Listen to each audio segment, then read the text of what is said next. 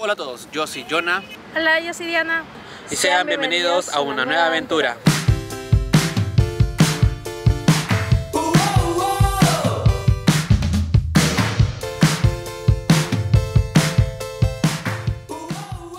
Bien amigos, el día de hoy tenemos una nueva ciudad que descubrir, es la ciudad de Chimbote. Para esto primero voy a mencionarles cómo llegamos hasta aquí. En primer lugar, compré con antelación y pasaje de bus de Lima a Chimbote con la agencia Móvil Bus. El costo fue de 50 soles y la duración del trayecto fue de 7 horas aproximadamente.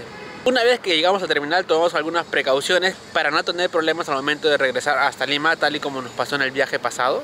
Y es que compramos nuestro pasaje de regreso de Chimbote a Lima en el mismo terminal donde bajamos el costo fue de 40 soles y algo que mencionar es que la mayoría de buses salen o en la mañana o en la noche. Son muy pocos buses los que salen por la tarde. Por lo menos si es que lo compras un día anterior. Hay algunas agencias que lo vendían el mismo día, es decir, tendríamos que comprarlo el día de mañana. Entonces una vez ya con nuestros pasajes de regreso, ya estábamos más tranquilos, salimos del terminal y en la esquina hay colectivos que te pueden dejar en el centro por un sol 50 cada uno. Llegamos al centro y nos pusimos a buscar un lugar para tomar desayuno. Como es temprano, alrededor de las 7, 8 de la mañana que estamos ahorita, eh, yo había leído por así googleando y encontré que el pan con pejerrey dice que es muy bueno o el, el rebozado también. Entonces me puse nos pusimos a buscar eh, dentro del mercado alrededor y entonces decían que no vendía. Lo último que nos quedaba es tomar el desayuno tradicional que bueno, siempre tomamos era jugo un y comimos también pan, pues, ¿no? Pan con pollo, como siempre. El coste del jugo está un sol y el pan con pollo estaba a dos soles cada. Entonces esa fue nuestra historia para llegar a este punto que estamos en la plaza de Chimbote. De aquí solamente queda recorrer un poquito a sus alrededores, ver su catedral o su iglesia que está atrás mío. Y posteriormente a esto nos dirigiremos al muelle para hacer nuestro primer recorrido turístico por aquí.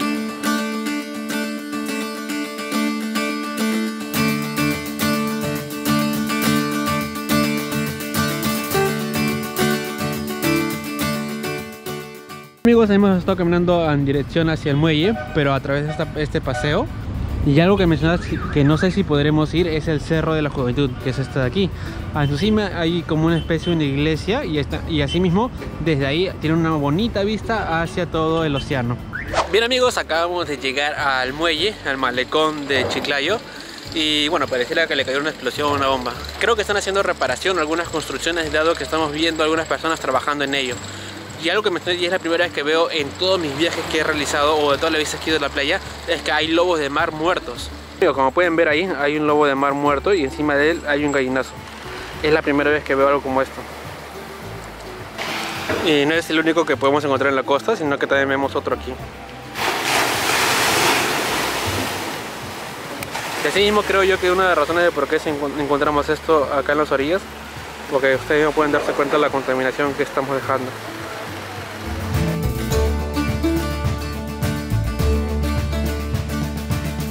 Bien amigos, estamos en el comedor popular, área de filete. Ahí están los comensales. ¿Sabías que en los años 50 Chimbote tuvo una época de auge económico?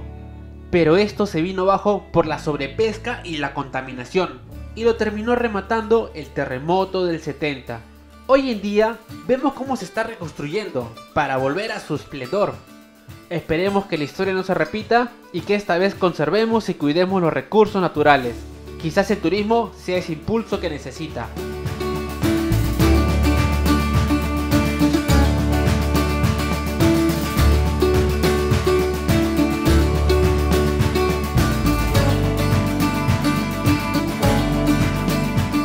Bien amigos, ya hemos desembarcado en la Isla Blanca. Para llegar aquí primero fuimos al muelle. Ahí hay como unos botes colectivos que te traen hasta aquí por el valor de 20 soles precio incluye la ida y la vuelta. Para regresar el señor nos dejó su número telefónico, así que media hora antes lo vamos a llamar y en teoría nos van a recoger.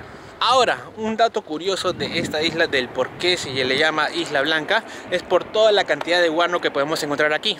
Prácticamente estamos caminando sobre estiércol de aves. Hasta donde nos informaron, la única playa que podemos encontrar en esta isla es la playa Conchuelas. Y como ya notaron es una playa chiquita, así que les recomiendo que vengan muy temprano, dado que supongo que en unas horas ya estará completamente lleno esa playa. Otra de las actividades que podemos hacer aquí es caminar, caminar hasta la cima de esta isla. Para esto es recomendado traer zapatillas, porque el camino... Zapatilla, ¿por qué? Por el camino es pura roca. Igual creo que es muy empinado. Vamos a tratar de ir por allá a ver si tenemos mejor suerte.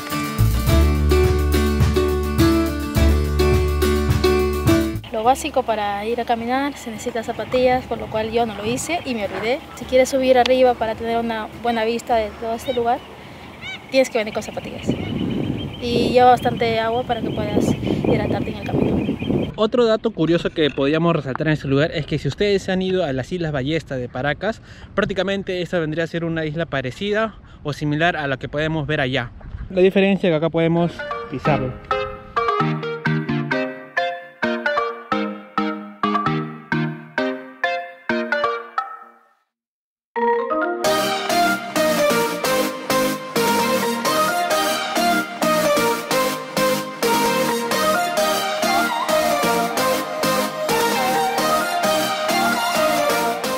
Bien amigos, logramos salir del cerrito, como pueden ver acá está atrás mío. Ahora nos estamos metiendo al mar y como pueden notar es agua sumamente tranquila, no hay casi nada de olas. Lo que sí podemos notar también es que está un poco fría, no es tan, tan fría como a comparación de otras playas, pero sí, se siente el frío del Pacífico.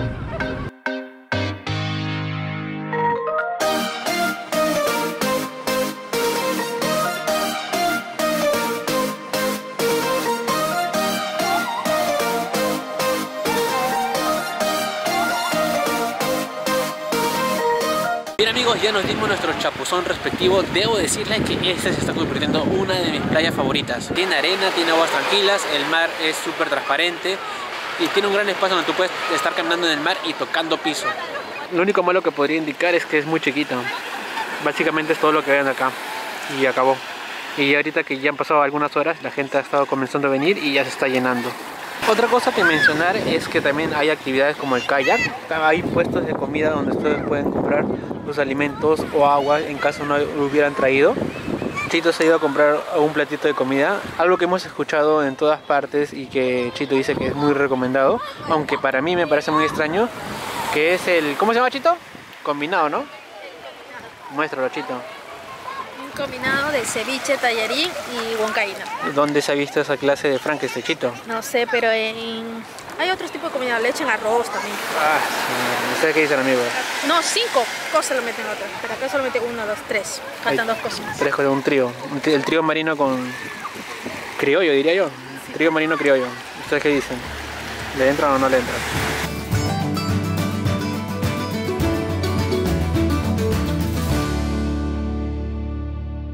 Bien amigos, ya terminó nuestro paseo, nuestro recorrido por la Isla Blanca. Este, bueno, solamente en el regreso tuvimos que esperar aproximadamente media hora para que se reúna nuestro grupo y poder retornar al muelle. Ahora nos toca la hora de almuerzo, así que nos estamos dirigiendo a un restaurante que nos recomendaron llamado Cielo Azul, que es la referencia que tengo que queda a dos cuadras de la plaza al costado de la Reiniec. Tenía mucha razón la referencia, acá está la Reiniec y al costadito está Cielo Azul, restaurante cevichería. Tener en cuenta, todo pago con tarjeta de crédito, débito o visa tendrá un recargo del 5%. Amigos, ya trajeron como es costumbre en toda cevichería la canchita, que está, en mi opinión, está rica.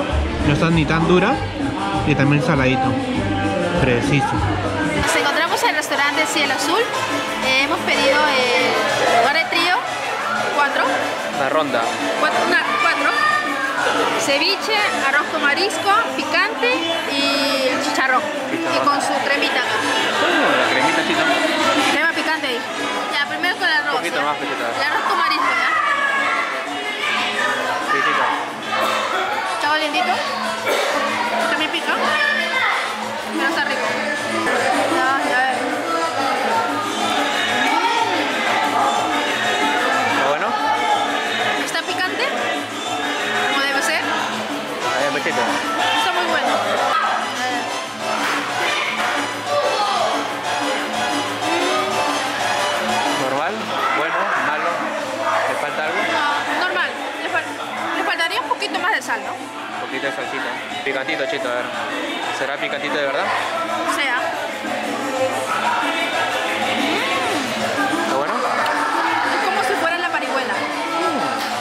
Bien amigos, ya terminamos de almorzar, es eh, ronda de cuatro, en realidad esa ronda es para unas tres o cuatro personas, tal y como lo dice su nombre.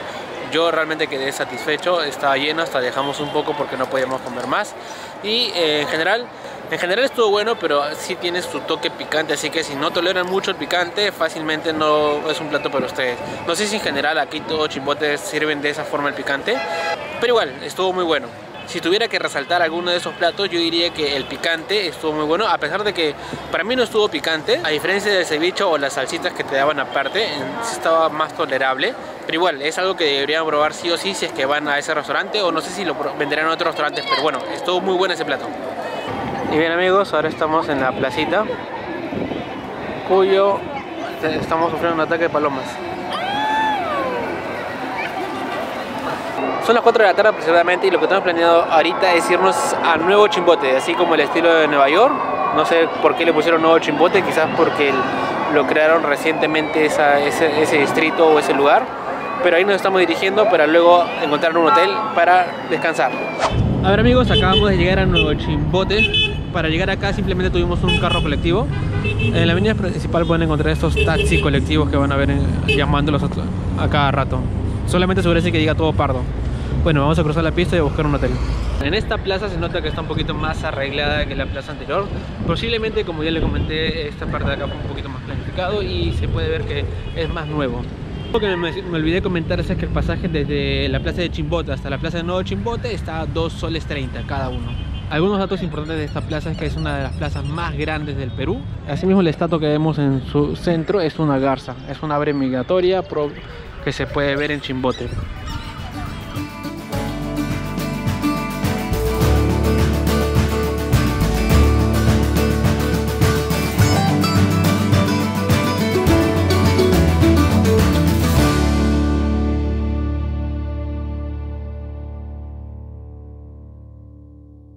Bien amigos, es un nuevo día, acabamos de despertar, ya salimos del hotel. A decir verdad, el hotel como queda muy cerca al centro, así que eso fue muy bueno. Costó 50 soles y bueno, es una habitación matrimonial común y corriente. Para el precio está bien. Ahora nos estamos dirigiendo o tenemos el objetivo de dirigirnos hacia Playa El Dorado. Para esto nos dijeron que hay un paradero llamado El Dorado en donde pasan colectivos que te dejan hasta ahí. No tenemos muy claro de dónde queda este paradero porque nos dijeron que tomáramos la P, pero como no estoy muy enterado sobre la línea de transporte de este lugar. Estamos yendo caminando hacia Plaza Vea, que creo que desde ahí estaría muy cerca de ese paradero. Bien amigos, nos hemos bajado en este puentecito que dice Movistar. Eh, de Plaza Vea tomamos un carro, la P. Acá no hay combis con, con letras, sino que hay esos colectivos o taxis que tienen letreritos arriba y en ese letrerito de arriba dice P. Pero igual al momento de bajar el taxista o el colectivero nos dijo que nos debíamos bajar un poquito antes, a unas tres cuadras de ese puente. Así que estamos caminando esas tres cuadras.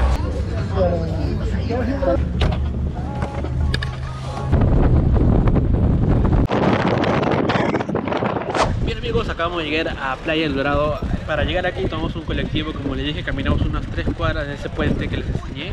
El costo del pasaje, hay dos, hay dos modalidades para llegar aquí, con una combi colectiva o con un taxi colectivo. El taxi tiene cuatro pasajeros y te cuesta cuatro soles y la combi está tres soles, pero tienes que esperar que se llene esa combi. Así que nosotros decidimos por el taxi dado que está más rápido para salir. Amigos, lo que podemos ver aquí, bueno, este es el estacionamiento de todos los colectivos que vienen aquí, buses. También hay, tours que paran aquí, pero básicamente estamos viendo un gran estacionamiento de botes.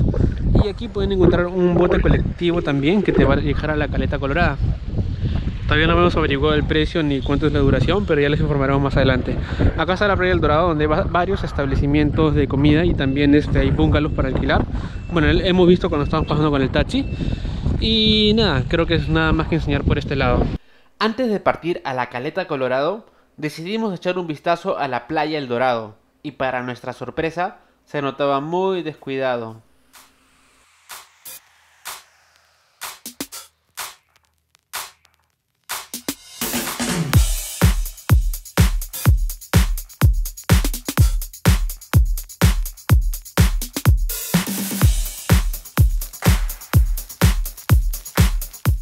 Bien amigos, acabamos de llegar a Playa Colorado. Es una playa un poquito más grande a la que vimos ayer Pero igual tengo la impresión de que acá en unas horas se va a llenar por completo. Igual podemos ver varias instalaciones de toldos que la están alquilando. El primer precio que nos dieron en entrada es de 25 soles la sombrilla. También vemos restaurantes, bueno, pequeñas carpitas donde puedes comer. Y una estación de salvavidas, pero sin salvavidas entonces amigos, hemos alquilado una sombrilla, nos bajaron un poquito el precio, está a 20 soles el precio por todo el día, pero estamos aquí. A decir verdad, el día de ayer sí nos quemamos un poquito, vamos a decir bastante, así que el día de hoy sí tenemos que tener una sombra para protegernos del rayo del sol. La playa más grande, se ve más bonita y al menos creo que voy a poder subir hacia arriba y para tener una vista mejor de, de este lugar, ¿no? Igual, algo que comentar que no le he escuchado en ninguna parte es que no necesariamente tienen que venir con los botes, es que también hay una forma de ir caminando por toda la costa. Sí, por lo que hemos visto el camino sí tiene su dificultad, así que si que vienen por caminando tienen que venir con zapatillas para que no se resbalen porque es prácticamente pura roca. Pues ya nos encontramos disfrutando de este mar que en realidad a decir verdad me sorprendió, no está tan fría. Está bueno cuando hay un sol intenso, porque así te ayuda a aliviar este calor.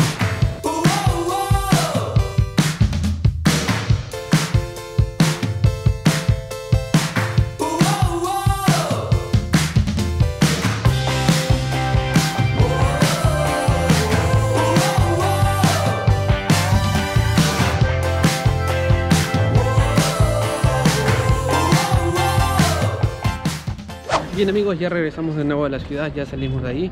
Eh, solamente una recomendación que creo que deben tener en cuenta es que de preferencia si van a visitar una playa sería mucho pero mucho mejor que lo hagan en la mañana dado que a partir de mediodía hacia adelante ya van mucho más personas haciendo que se sature esa playa y creo que no lo disfrutarían mucho. Así que esa es mi recomendación final. Ahorita ya nos queda solamente dirigirnos hasta el terminal terrestre para retornar a Lima el costo de pasaje de regreso estuvo igual que el de ida, 4 soles. Cogimos un taxi colectivo. Imagino que si tuvieran tomado la combi colectiva, le hubiera costado 3 soles. Pero ya vean ustedes cuáles les conviene, porque en sí nosotros estamos cogiendo taxi, dado que eh, sale mucho más rápido, ya, que son menos personas que tienen que esperar. Amigos, espero que les haya gustado este video, que le hayan pasado bien, que lo hayan disfrutado, así como nosotros lo hicimos en estos dos días. Chimbote es un lugar que me dejó sorprendido, en realidad no pensaba encontrar playas tan bonitas, así que si tú aún no conoces este destino y te gustan las playas, te diría que te des un paseo por ahí. Un fin de semana, así como yo lo hice, podría ser suficiente para que quedes encantado de este lugar. Ahora, si quieren más información sobre este destino, algunas recomendaciones o tips, en la descripción estaré dejando el link a mi página web viajarcomerreír.com. Ahí estaré colgando el itinerario de este viaje. También pueden seguirme en Instagram y Facebook, ahí publico fotos e historias de los viajes más recientes que estoy haciendo. Y si quieren apoyarme para que yo pueda continuar con este proyecto de YouTube, si no estás suscrito, suscríbete. Y si ya estás suscrito, activa la campanita para que te lleguen notificaciones cada vez que subo un video. Y también pueden compartir este video con todos sus amigos, su pareja, su mascota o sus enemigos. En fin, me ayudarían mucho para que podamos crecer. Conmigo ha sido todo, nos vemos en una siguiente aventura.